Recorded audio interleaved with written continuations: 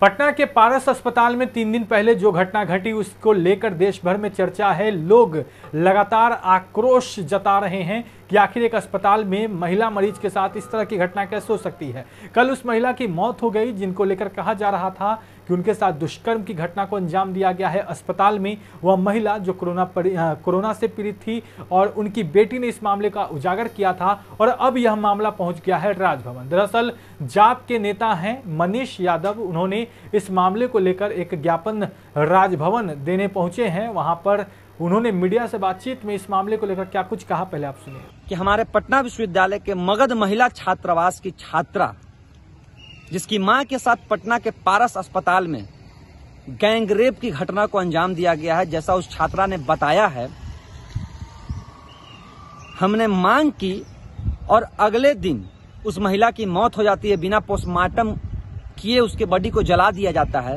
तो ये पूरी तरह से स्पष्ट है कि उस महिला के साथ यौन शोषण हुआ था, जो उस बच्ची ने बताया, हमने यहाँ आकर पक्ष तौर पे महामहिम इसकी जाँच कराएँ, चूँकि सत्ता प्रशासन, चूँकि वो हॉस्पिटल ही, बिहार का पारस हॉस्पिटल ही, पटना का पारस हॉस्पिटल ही, यहाँ के स्वास्थ्य मंत्री के परिवार का है तो वहाँ से न्याय की उम्मीद नहीं की जा सकती है।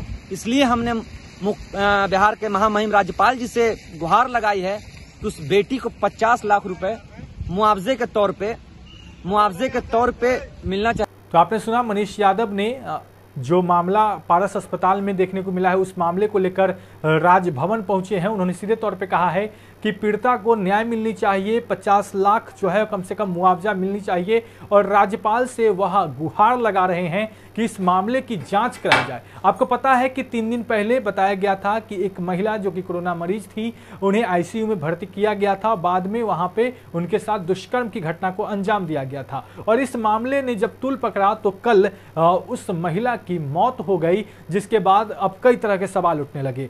उनकी बेटी बार बार इस मामले को लेकर अस्पताल प्रशासन पर आरोप लगा रही है, अस्पताल प्रबंधन पर आरोप लगा रही है कि उनकी माँ को मार दिया गया है ताकि इन पूरी मामले को, का खुलासा न हो, सबूत मिटा दिया गया है। और ऐसे में अब यह मामला पहुँच गया है। राजभवन, अब देखने वाली बात होगी कि इसको लेकर आने वाले वक्त में क्या कुछ होता है। अब बढ़ हेडलाइंस बिहार के साथ, अगर आपने अब तक हमारे चैनल को सब्सक्राइब नहीं किया है तो जल्द सब्सक्राइब कर ले। धन्यवाद।